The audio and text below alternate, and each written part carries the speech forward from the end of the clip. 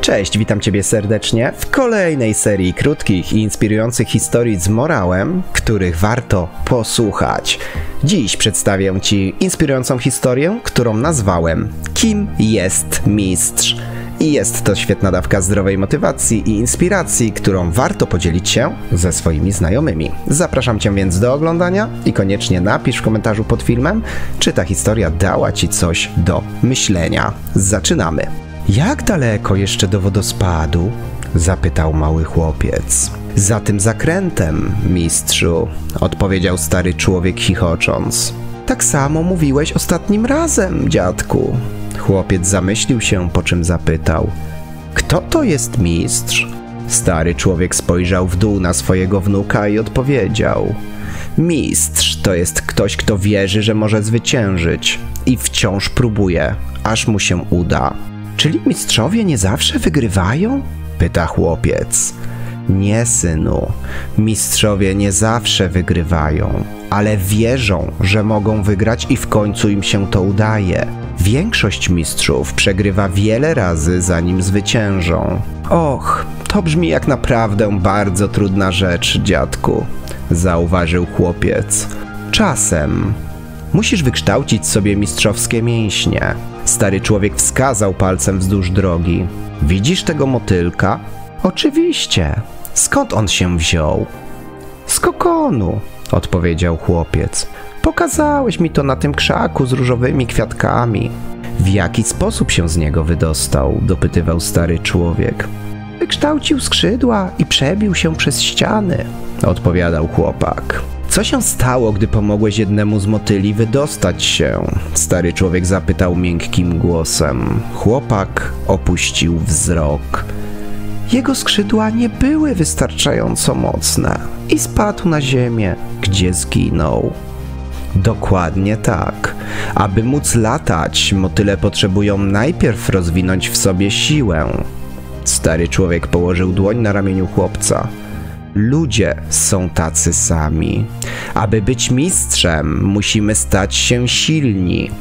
Zwykle jednak to nie to, co robimy, musi być silne, lecz nasza wiara w to, co robimy. Co masz na myśli, dziadku? zapytał chłopiec. Stary człowiek zatrzymał się i pochylił, spoglądając wnuczkowi głęboko w oczy. Pamiętasz, jak uczyłeś się jeździć na rowerze? Pewnie. Pamiętasz, jak upadłeś? Jasne. Kto by zapomniał taką wywrotkę? Pamiętasz, jak byłeś podrapany i poobijany i musieliśmy skoczyć po plastry i bandaże, jak wypłakałeś nawet kilka łez? Pamiętam. Nie było tych łez aż tak dużo, zadeklarował chłopiec. Dlaczego za każdym razem, gdy upadałeś, od razu wstawałeś? naciskał stary człowiek. Ponieważ wiedziałem, że mogę to zrobić, stwierdził chłopiec. Jeśli Stefan mógł jeździć na rowerze, to ja wiedziałem, że też mogę jeździć. Dokładnie, potwierdził dziadek. Czasem musimy pożyczyć czyjąś wiarę, zanim nasza stanie się wystarczająco silna, byśmy mogli obejść się bez czyjejś pomocy. Widziałeś, jak Stefan jeździ na rowerze i uwierzyłeś, że ty też mogłeś. Więc mogłeś. Stary człowiek uśmiechnął się do chłopca. Ciężko ci było wstać po tym, jak upadłeś? Wcale, rzekł chłopiec. No właśnie, potwierdził starzec. Nigdy nie jest ciężko, jeśli w coś mocno wierzysz. I mistrzowie o tym doskonale wiedzą. Ruszyli dalej ścieżką prowadzącą do wodospadu. W pewnym momencie chłopiec zatrzymał się i stwierdził: Zawsze będę mistrzem, dziadku, ponieważ zawsze mogę się podnieść. Masz absolutną rację, chłopcze, odpowiedział dziadek. Morał z tej historii będzie bardzo, bardzo krótki, ale konkretny. I posłużą tutaj idealnie słowa chociażby Henry'ego Forda, który powiedział: jeśli wierzysz, że możesz czegoś dokonać, to masz rację, ale jeśli wierzysz, że nie możesz czegoś zrobić, to również masz rację. I na zakończenie podam Ci jeszcze bardzo ważne słowa, które wypowiedział Walt Disney, który wielokrotnie został odrzucany i wyśmiewany, zanim dokonał to, o czym wszyscy wiemy.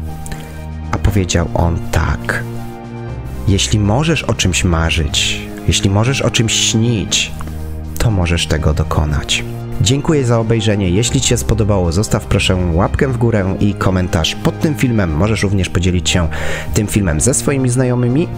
Jeśli chcesz na bieżąco być e, materiałami, które publikuję, to koniecznie subskrybuj ten kanał, naciśnij ten czerwony przycisk, który znajduje się tam pod filmem. Koniecznie z dzwoneczkiem, aby otrzymywać wszystkie powiadomienia. Do następnego razu, trzymaj się, cześć i udanego dnia Ci życzę.